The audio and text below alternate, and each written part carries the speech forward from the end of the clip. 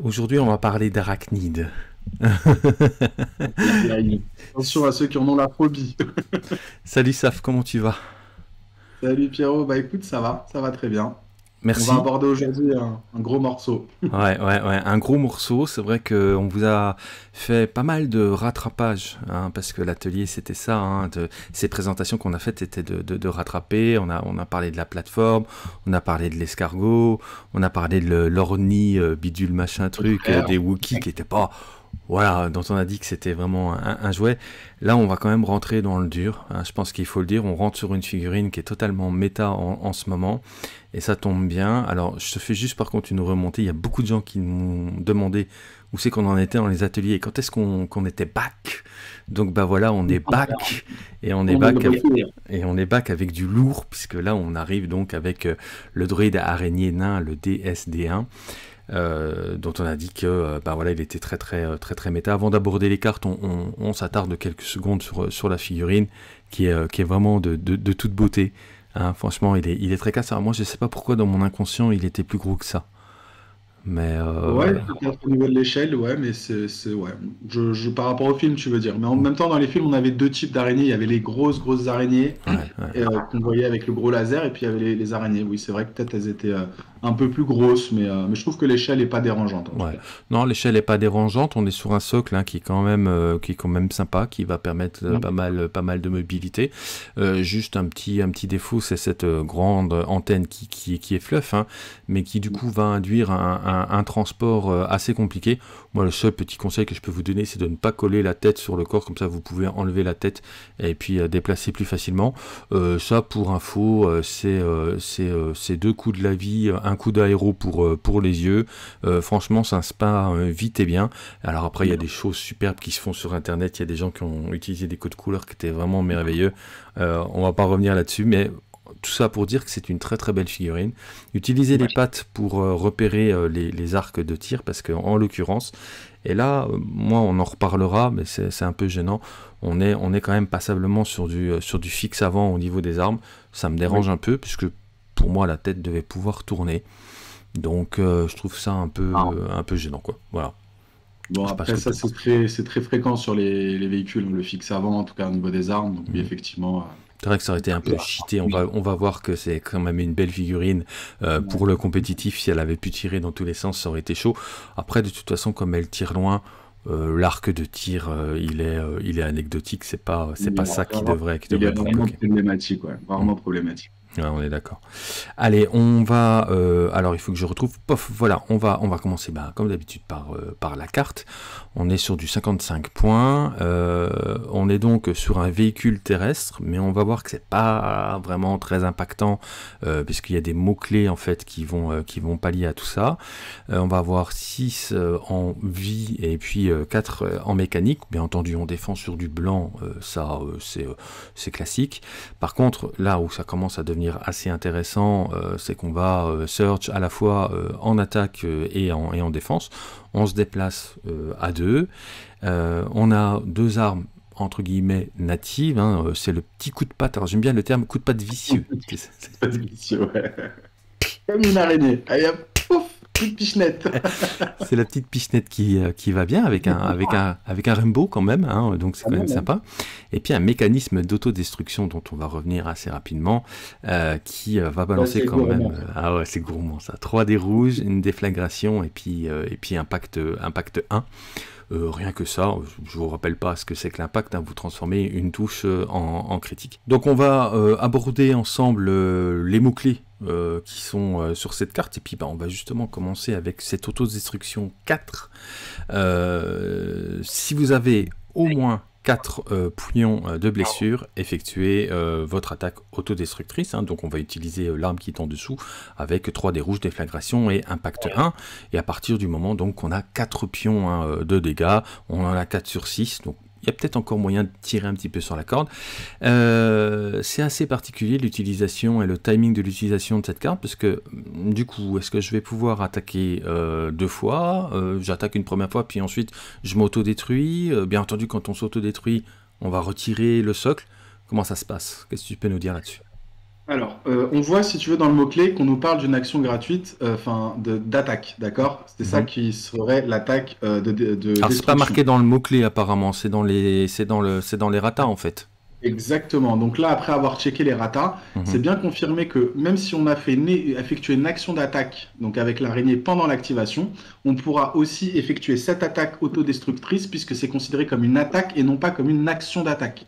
Ah, donc on ne cumule pas deux fois l'action d'attaque, on fait une action d'attaque et une attaque. Donc c'est très particulier, c'est quelque chose qu'on n'a encore pas beaucoup vu parce que surtout que c'est considéré quand même dans l'activation de l'araignée. Hmm. C'est assez particulier, mais c'est très important de savoir ça, c'est-à-dire qu'on peut effectuer donc nos actions, les deux actions principales, donc par exemple viser et faire une action d'attaque, et on aura aussi gratuitement une attaque avec l'autodestruction de l'araignée. D'accord, ok. Et donc du coup, euh, on a quand même un socle qui est assez euh, assez important. Euh, effectivement, quand on est dans une configuration, on va partir, on va les présenter hein, les armes. Mais quand on est dans une configuration lance-flamme où on aurait rushé le corps à corps, on va vite se retrouver acculé et entouré de troupes on peut imaginer effectivement le baroud d'honneur où, je balance un coup de lance-flamme, après je déclenche cette autodestruction, puis comme j'ai quand même un, un gros socle, c'est tout ce qui est autour du grand socle à portée à distance 1 et non pas à portée à distance 1 à distance 1 ou à portée 1 et une c'est encore plus long c'est ah c'est immense. Donc, ah ouais donc en fait ça te fait vraiment une aire d'effet euh, comme ça quoi en fait euh, c'est énorme toutes, Les unités, toutes les unités dedans vont se prendre chacune 3 dés rouges sans couvert Ah ouais, ouais, Ah oui, c'est un beau baroud d'honneur, effectivement.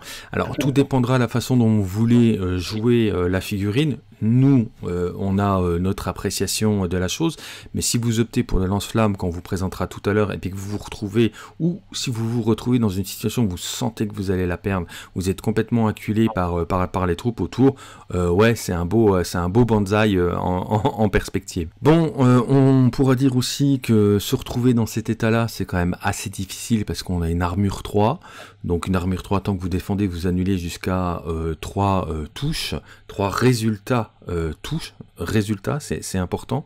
Donc euh, c'est après modification, du coup, si ce sont des résultats ou si c'est directement au niveau du lancer.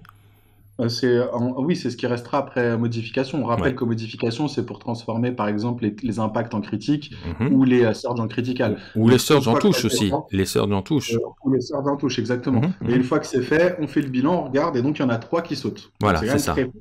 Voilà, donc c'est quand même déjà méchant. Euh, pour peu que vous ayez un cover, euh, voire un cover 2, euh, vous allez de facto en annuler 5. Et euh, comme on disait tout à l'heure quand on en discutait, bah, ça transforme ta Z6 en pistolet à eau. Et euh, bon, en gros, euh, va falloir lui préférer sans aucun doute des fire support. Il faut vraiment venir attaquer la bestiole avec un gros pool de dés, réussir à bien fiabiliser son, son, son pool de dés. on y réfléchit à deux fois hein, finalement pour prendre une droïde araignée en cible.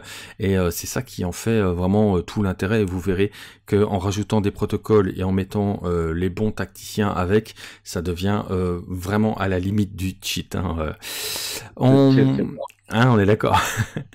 on, a, euh, on a un véhicule terrestre, mais pas d'inquiétude parce qu'on a donc véhicule grimpant. Donc vous êtes considéré comme un soldat en ce qui concerne le, déplacement verticaux. Alors là on se dit oh, merde il va falloir que je fasse des gestes, je risque de casser mon araignée, si elle tombe elle va avoir des impacts. Mais non parce qu'elle a grimpeur expérimenté, la petite saloperie, et euh, tant que vous escaladez, bah, vous ne lancez pas les dés de défense et ne subissez pas euh, de blessures. Elle n'a que des avantages. Hein, Alors moi, ce que j'aimerais souligner, c'est que ce qui est vraiment très très cool, c'est que pour le coup, là, le design est extrêmement fluff. Du fait déjà que c'est une araignée qui puisse grimper, et en plus, ce petit mot d'autodestruction là que je trouve vraiment génial dans l'état d'esprit des druides. Donc là, rien que pour le, design et les mots-clés et les, les règles qu'elle apporte, je trouve ça excellent. Ah, c'est vraiment la figurine place to du moment. Et puis, euh, elle va avoir programmé, vous devez euh, vous équiper euh, d'une carte d'amélioration. On va regarder ensemble ces cartes d'amélioration. Et euh, bah vous allez, euh, alors vous les connaissez déjà hein, parce qu'on les a, euh, on les a déjà, on les a déjà présentés. C'était pour le NR, hein, je crois, hein, le NR 99. Euh, on va commencer par le protocole d'attaque parce que bah, forcément il aura notre préférence parce qu'on est des gros bourrins et que on aime se gorger de précis et, et, de viser. Donc si vous optez pour ce protocole, votre première action doit être, si possible, de viser, sauf si vous possédez un ordre euh, face visible. Soyons clairs, euh, l'objectif quand on a ces cartes, et étant donné qu'on est de toute façon obligé euh, de s'en équiper, c'est de ne surtout pas mettre d'ordre sur, sur la figurine pour qu'elle puisse bénéficier de ça, à moins que vous ayez vraiment une volonté de maîtriser son activation.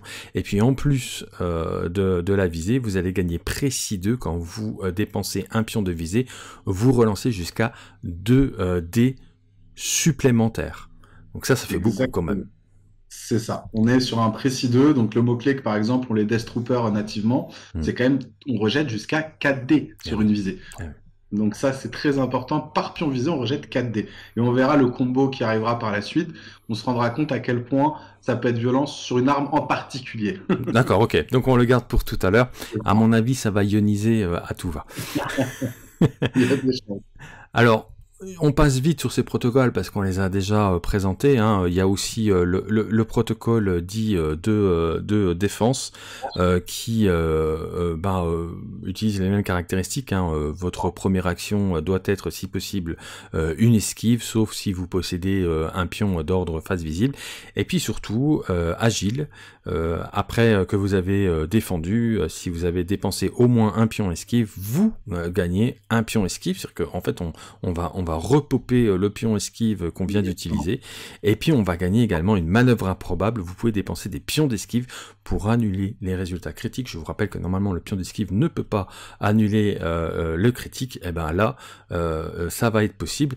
Et on a dit tout à l'heure que si vous vouliez pouvoir vous débarrasser de ces saloperies, il allait falloir aller chercher du critique ou des gros gros poules de dés. Donc bah là, des gros poules de dés qui se font maraver par, par de l'esquive. Et puis en plus, avec une manœuvre improbable qui vous fait maraver au, niveau, au niveau des critiques, ça devient vraiment lourd. Devient pénible. Hein. On se rend compte qu'effectivement, c'est tout indiqué. Euh, si on veut rendre son araignée très tanky, bah voilà, on a ah. la solution. Et donc avec une araignée comme ça, effectivement, on, peut, on le verra, euh, aller euh, sur une configuration lance-flamme et aller euh, vaillamment chercher du corps à corps, même à distance courte, puisque le lance-flamme va, va taper de mémoire à distance 1, je crois. donc, donc voilà, c'est vrai que ça peut donner l'impression que, oh, mon Dieu, j'y arriverai jamais. Et puis au final, ben, avec ce genre de carte, on y va quand même assez aisément, pour peu qu'en plus on, on, capote deux trois couverts en chemin, c'est réglé quoi. Hein. Ouais, c'est quand même très très fort. Et puis, on rappellera aussi dans, ce que tu viens de dire, hein, pour les deux protocoles d'attaque et protocoles de défense, qu'on a les IA. Donc ça, quand on n'a pas d'ordre, on est soumis à ces IA. Hmm. Mais par contre, les autres mots-clés qui sont en dessous, eux, qu'on ait d'ordre ou pas d'ordre, seront en permanence là. Donc agile et manœuvre improbable, ce sera tout le temps, ordre ou pas. Et pareil pour le précis 2 pour les araignées qui sont dotées. Donc c'est quand même très très intéressant, comme tu l'as dit, si tu veux rendre ton araignée tanky se balader le temps d'arriver, c'est très bien. Hmm. Oui, tu fais bien de, tu fais bien de, le rappeler, les, les, les, les mots-clés qu'on obtient grâce à ces cartes-là ne sont pas liés à la, à la notion d'IA. C'est une erreur qu'on peut commettre, on en avait déjà parlé. Et puis le dernier, qui est le plus euh, circonspect, c'est le protocole d'engagement. Vous gagnez euh, euh, IA euh, attaque déplacement. Votre première action doit être si possible une attaque ou un déplacement, sauf si vous possédez un, un pion d'ordre face visible. Alors, juste une précision, euh, bizarrement, c'est celui qui est le plus cher, hein, parce qu'il vaut 5 bah points là où les autres 23 points. Pourquoi? Parce qu'en fait, il te restreint beaucoup moins que les deux autres IA. Hmm. Parce qu'on rappelle quand même que quand on a deux actions, si on est obligé d'esquiver ou obligé de viser sur la première, ça peut être pénalisant pour les mouvements par la suite parce qu'on aime bien tirer hein, dans le jeu quand même. Donc ça veut dire que c'est une araignée statique euh, globalement quand on est sous IA. Là où là, tu as quand même attaque ou déplacement, ça offre une plus grande latitude. Certes, tu n'as pas de mots-clés, mais tu as une plus grande latitude quand tu n'as pas d'ordre surtout. On est clair que euh, effectivement, si on prend un, protocole de défense où on va être obligé de, d'opter pour une esquive, après derrière, c'est soit je me déplace, soit j'attaque. Euh, mm. Donc effectivement, c'est assez, euh, c'est assez, euh, c'est assez impactant quoi. C'est, c'est assez embêtant quoi. Ouais. Quand on n'a pas d'ordre, donc c'est pour ça qu'il faut faire le choix de donner des ordres ou pas au bon moment. Mm, d'accord. On va du coup aborder les armes et puis on va juste commencer par euh, la plus méchante de toutes parce que c'est celle qu'on aime bien et puis on a envie de vous montrer et de vous expliquer plein de choses.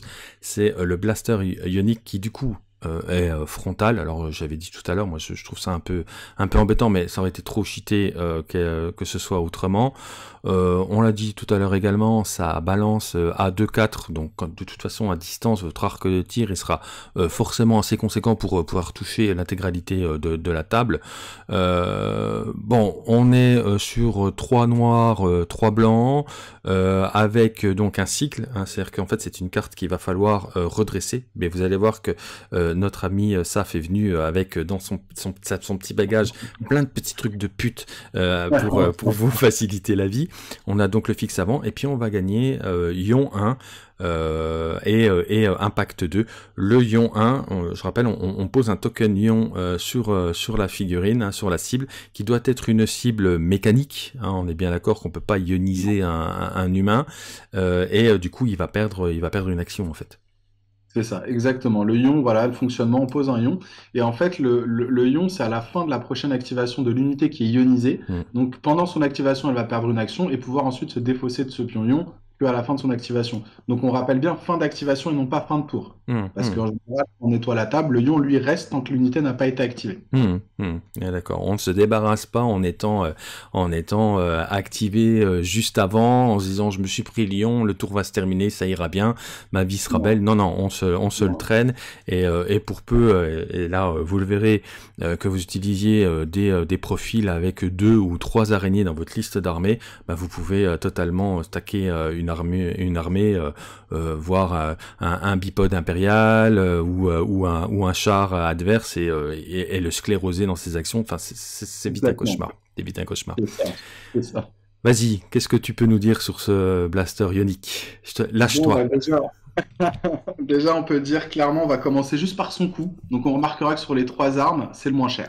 Bah Donc, déjà, on se dit, ok, Portée 2-4, on rappelle que portée 2-4, c'est juste qu'il ne peut pas tirer à portée 1, hmm. puisque la portée 2, c'est du début de la portée 2 à la fin de la portée 2, c'est le segment vraiment. Hmm. Donc 2-4, ça donne vraiment une, énorme portée de tir.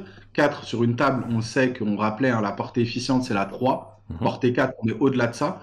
Donc on est vraiment sur une arme qui tire loin, euh, qui a ion 1, comme tu l'as dit, et Impact 2. Donc l'impact, c'est aussi pour fiabiliser, transformer les touches en critiques. Donc c'est une arme anti-véhicule très intéressante parce qu'en plus elle fait perdre les actions. Comme tu l'as très bien dit, un marcheur euh, impérial ou un tank qui perd une action, c'est dramatique pour ce genre d'unité parce qu'au niveau des déplacements, il te reste éventuellement que les tirs.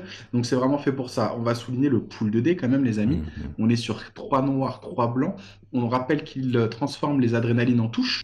Donc c'est, on se dit sur le papier, bon, 3 blancs, 3 noirs, c'est pas forcément euh, le plus fiable. Mais on rappelle que si on lui met le protocole d'attaque, et c'est un petit peu le combo qu'on voit dans la méta et dans l'ultra compétitif, c'est que ces araignées-là sont équipées euh, donc du protocole d'attaque qui va leur donner précis 2. Mmh. Donc pour chaque pion visé, ils vont jeter 4 dés. Mmh. Et c'est là où on se rend compte que c'est extrêmement fiable parce que quand on va pouvoir l'équiper, par exemple, d'un euh, visé jumelé, le LTA en anglais, euh, les visées jumelés, donc tu vas gagner un pion visé dès que tu as un ordre, et comboter avec par exemple Kalani, hein, donc le fameux super tactique druide qui a Strategize 2, qui va permettre pour une seule action de donner à deux unités différentes, une visée et une esquive, on peut se rendre compte qu'on va se retrouver avec des araignées qui vont démarrer le tour avec deux visées.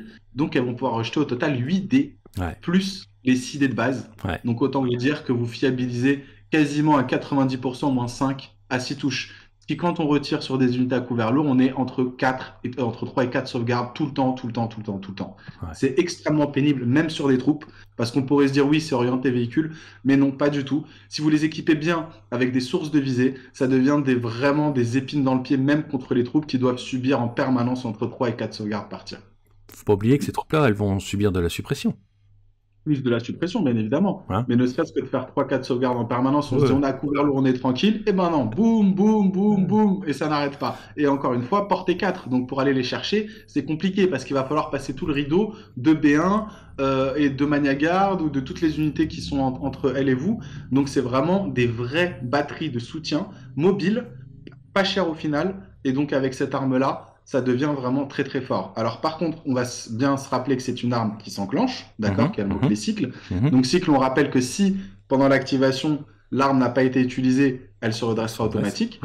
Mais au final, euh, quand on ne veut pas perdre de tour à attendre que l'arme se redresse, parce que pour le coup, si l'arme est enclenchée, l'araignée ne peut rien faire, puisqu'elle n'a pas d'autre arme. Donc il faut absolument qu'elle utilise son arme, ou alors ça lui permet de se repositionner éventuellement.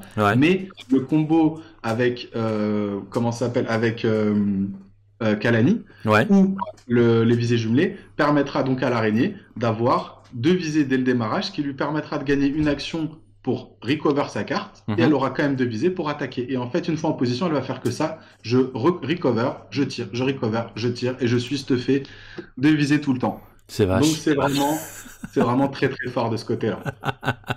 ouais, j'avoue que là, franchement, euh, profitez-en euh, tant que c'est pas irraté, quoi. Hein On va dire ça. Hein. Pour l'instant, ça l'est pas, mais profitez-en tant que c'est pas irraté. Moi, je l'avais vu, euh, je l'avais vu au CF. Euh, c'est là qu'elle a commencé, euh, c'est là qu'elle a commencé à sortir. Je l'avais vu en CF, en duo. Euh, on en envoyait deux, voire euh, même il y avait des joueurs qui en sortaient trois. Euh, franchement, c'était, c'était, c'était insupportable pour le joueur d'en face. Quoi. Un petit, un petit bisou, une petite dédicace à Allumette que j'ai vu souffrir pendant pendant près de deux heures face face à ces saloperies. Je pense que il doit encore en faire des cauchemars, quoi, clairement. on va on va parler on va parler de la suite. Bon, alors, on va quand même aborder la suite, mais vous avez compris que nous, c'était protocole d'attaque et c'était euh, Blaster Ionic, mais euh, je laisserai euh, Saf vous en parler, vous en parler dans sa conclusion. On a aussi également la possibilité de l'équiper d'un canon laser frontal. donc là, on va passer sur une distance de, de 1-3. On va avoir un pool de dés qui reste quand même sympa avec un rouge, 3 noirs et, et un blanc. On va gagner un critique 1, donc la possibilité hein, de search des résultats euh, en critique, et puis on va garder cette notion euh, de fixe avant, et euh, de façon paradoxale, on va passer sur un coup de 15. Bon, l'arme du débutant alors, c'est l'arme la plus polyvalente, on va dire, hein, parce que euh, c'est la portée, encore une fois, euh, basique, hein, la portée 3 du jeu. Mm. Le pool de dés a l'air quand même plus fiable parce qu'on rajoute un petit dé rouge euh, par rapport à l'autre araignée, par rapport au ion, pardon. Donc, on est quand même sur 5 dés, 5 dés avec aussi le mot-clé critical. Mm. Donc, la petite Serge qui passe en critique, qui peut passer les couverts, qui peut taper un peu les troupes. Mm. Donc, voilà. Sur le papier, c'est l'arme qui a l'air la plus séduisante. Euh, mais le problème, c'est la portée 3 qui demande quand même à l'araignée d'avancer, de s'exposer. Et là où justement le ion, lui, n'a pas besoin de s'exposer dans les ranges classiques, les ranges les plus populeux, les plus impactants, elle, elle va devoir y rentrer. Hmm. Donc elle va plus pouvoir subir justement les attaques hmm. d'en face. Donc c'est un peu plus dangereux pour elle. Le fait que ce soit plus cher aussi, c'est un peu étrange, euh, dans le sens où... Euh, alors, on peut le comprendre dans le sens où l'arme ne s'enclenche pas. Donc c'est une arme en permanence. Donc je pense que c'est pour ça que ça vaut un peu plus cher sur le papier. Ils avaient peut-être pas anticipé le combo que tu pouvais faire ensuite avec Kalani, les visées, les machins, les protocoles sur euh, le Ion, qui euh, de prime abord euh, semblait être problématique cette histoire de, de, de s'épuiser. Là, elle ne s'épuise pas, donc voilà, c'est 15 points. c'est un pool quand même qui reste intéressant. Je pense qu'après ce genre d'araignée, quand on leur met le canon laser, il va falloir les équiper soit du protocole euh, de, défense éventuellement, pour mhm. essayer justement de les faire durer un peu, un peu plus dans le temps, mhm. euh, soit du protocole euh, d'engagement qui va te permettre du coup d'avoir toujours cette mobilité de bouger ou de tirer en première action. Mhm. Ouais, ouais, c'est ce que je pensais aussi. je disais, je disais, arme, arme de débutant, c'est pas péjoratif, mais effectivement, c'est celle sur laquelle on, on pourrait partir parce qu'elle a plus de lisibilité et effectivement essayer d'éviter le protocole d'attaque euh, avec parce que euh, là vous risquez quand même euh, d'être gêné par le fait que vous tirez à une distance qui va vous faire entrer en, close, enfin pas en close, pas en, corps à corps, mais à rentrer dans, dans, dans, dans la capacité de tir de, enfin une réponse de tir adverse. Donc ouais, peut-être un, un, protocole, un protocole d'engagement pour gagner euh, en, en, déplacement. Donc, euh, donc voilà. je peux, je peux me repositionner, je peux éventuellement reculer. Et puis sinon, bah, le bon vieux protocole de défense, celui-là, il va, il va vous, vous tanker comme il faut. Et puis, ben, la dernière arme. Alors la dernière arme, ouais, dis-moi. Non, je voulais juste préciser. Après, on peut aussi l'équiper du protocole d'attaque, hein, parce que ça peut être intéressant. on peut, c'est tendu.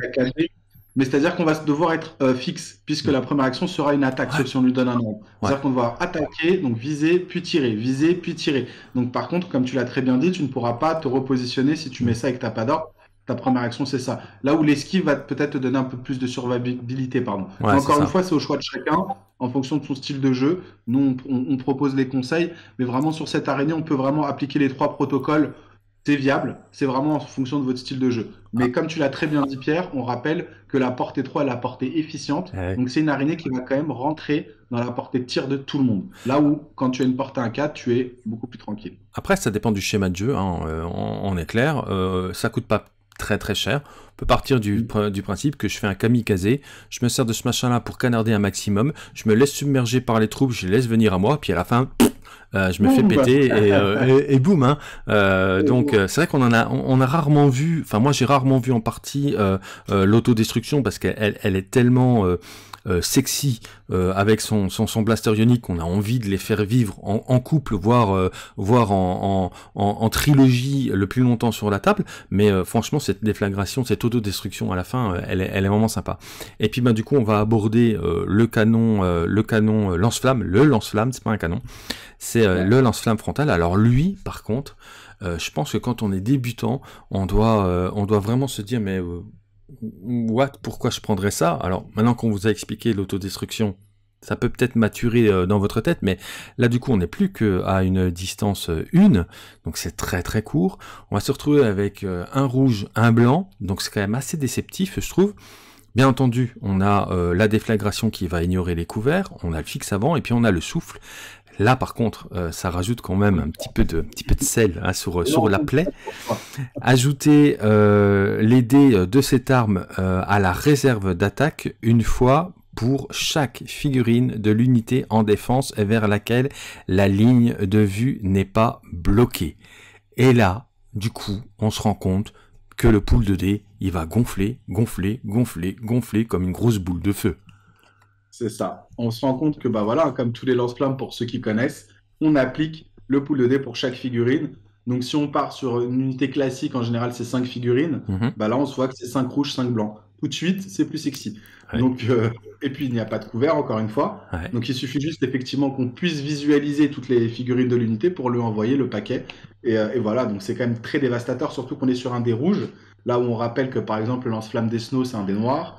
Euh, les autres lance-flammes sont souvent noir-blanc, euh, comme par exemple on a vu récemment Gar Saxon où il y avait aussi le, lance-flamme des TLTT qui sont sous deux dés noirs. Euh, là, on est sur un rouge, un blanc, donc on est quand même sur une fiabilité assez intéressante. On rappelle que la surge en attaque s'appliquera aussi, donc c'est super, super fiable comme, comme, comme pool d'attaque. Hmm.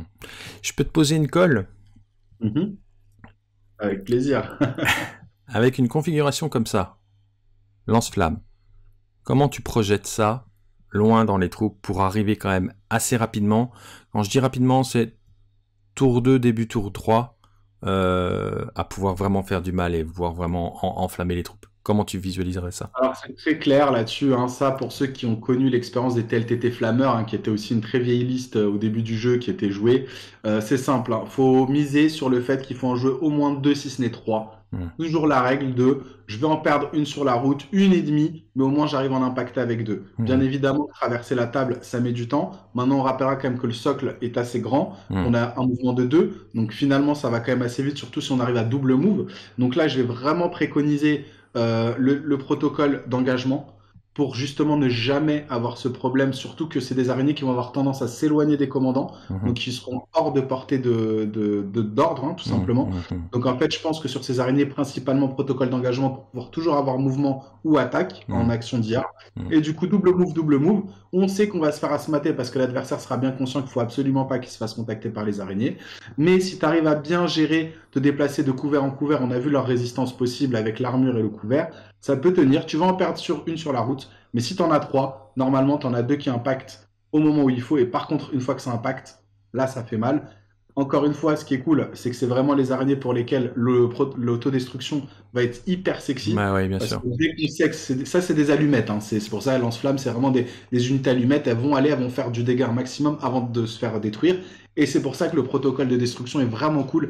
Euh, enfin, l'autodestruction, pardon, est vraiment cool parce qu'en plus des attaques de lance-flamme, derrière, tu peux rebalancer 3 d rouges sur toutes les unités autour de toi autant te dire que tout ça, toujours sans couvert, toujours avec du dé rouge, ça commence à piquer. Ouais, c'est, on sent, on sent le, on sent le profil anti-clone hein, euh, qui, qui, qui, joue, qui joue très, très, très compact, hein, très, très regroupé. Le, vraiment, le, les troupes qui ont tendance à vouloir s'échanger euh, du pion, se partager, se partager du pion. Quand vous avez des listes comme ça de partage et de, et de synergie, c'est souvent des, des, des, armées qui sont compactées, même si, eh bien entendu, ça a été entre guillemets euh, modifié, hein, RAT, et puis que maintenant les clones peuvent moins le faire, ils ont quand même toujours tendance à, jouer comme ça.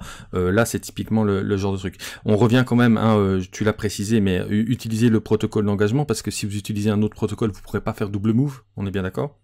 Voilà, c'est hein, ça. Voilà.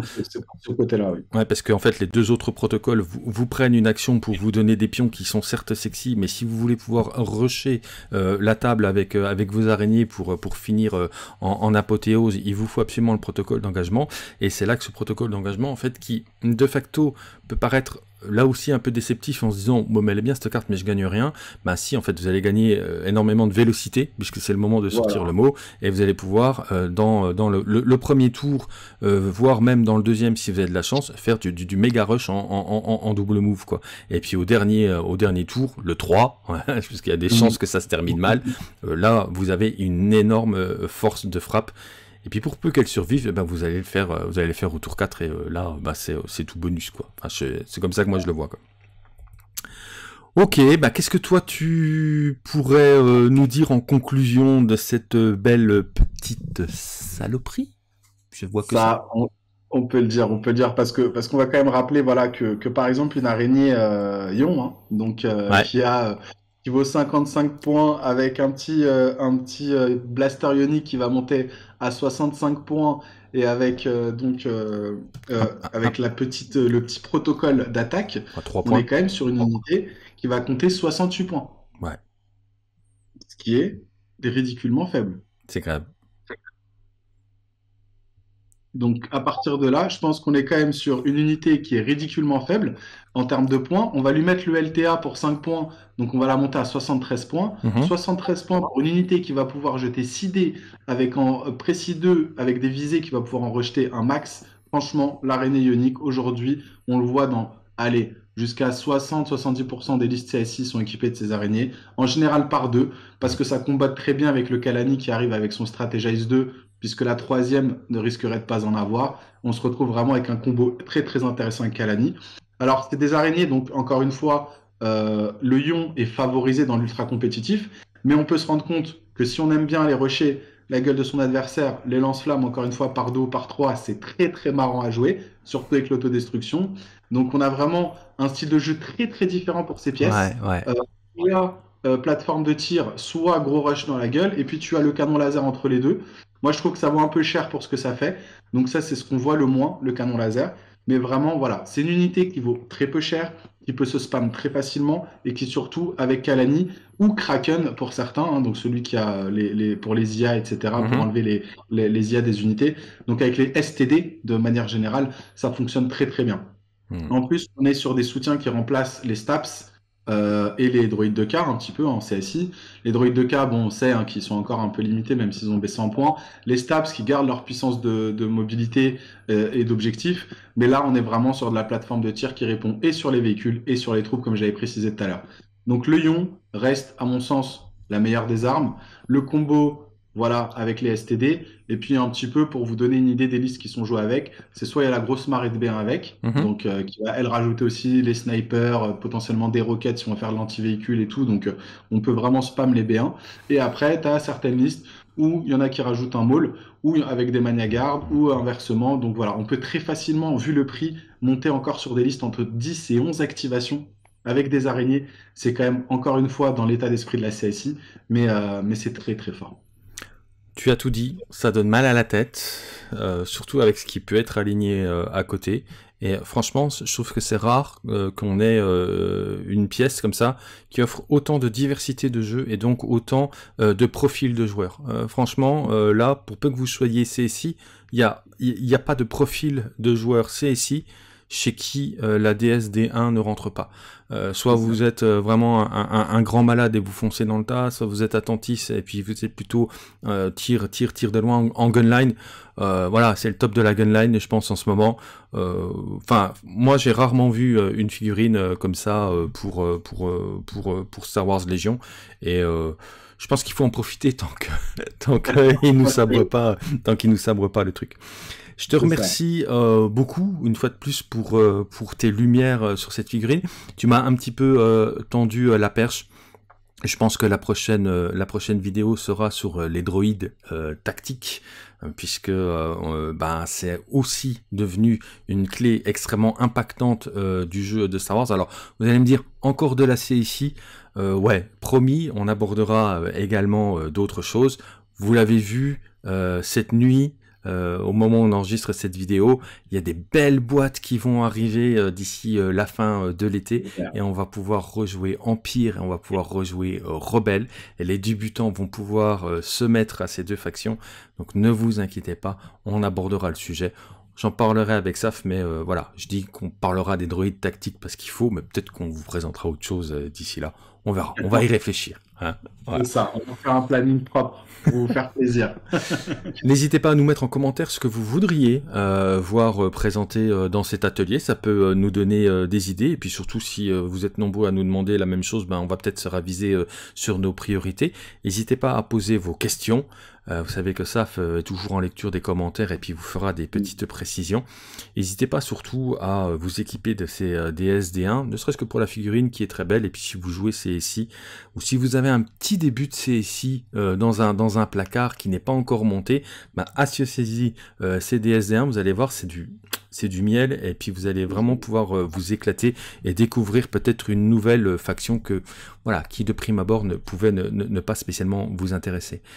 Moi, il me reste à vous souhaiter euh, de bons jeux et surtout des bons jets. Même si là, si vous vous plantez dans les jets, bon, c'est vraiment que vous n'avez pas de bol. Et on vous dit à très bientôt. Lâchez les likes, lâchez les abonnements et lâchez les partages. Allez, ciao